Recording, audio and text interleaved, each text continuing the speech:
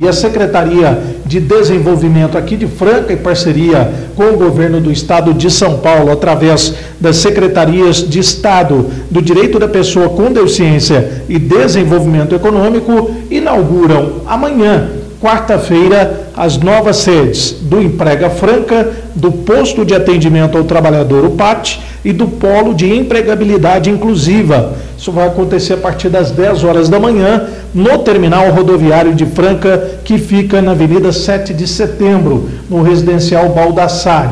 A secretária de Desenvolvimento da cidade, Lucimara Prado, explica para a gente, por telefone, é, como vai ser o funcionamento desses novos órgãos e qual a importância e quais são os tipos de serviços que eles prestam, secretário. Seja bem-vindo.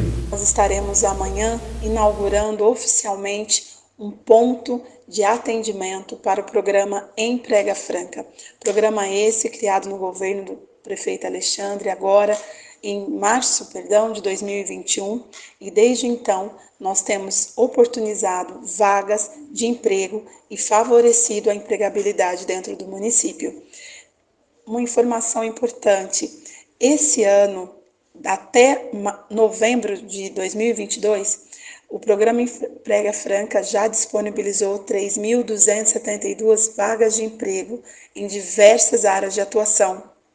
Promoveu o workshop da empregabilidade, ensinando como preparar um currículo, como se preparar para uma entrevista, como desenvolver a inteligência emocional para sobressair nas dinâmicas de grupo do processo seletivo.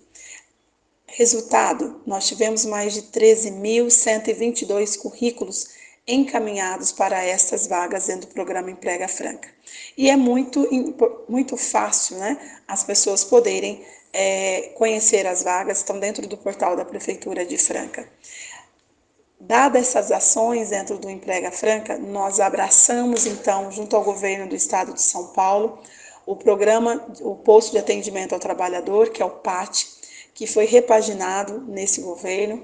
Nós estamos trazendo ele agora para uma estrutura, numa região de mais fácil acesso, com ônibus parando na porta, né, com estacionamento gratuito e uma estrutura mais aconchegante para aquela pessoa que está desempregada, para aquela pessoa que precisa cadastrar para receber o seguro-desemprego ou mesmo emitir de maneira digital a sua carteira de trabalho, que são os serviços disponibilizados no PAT.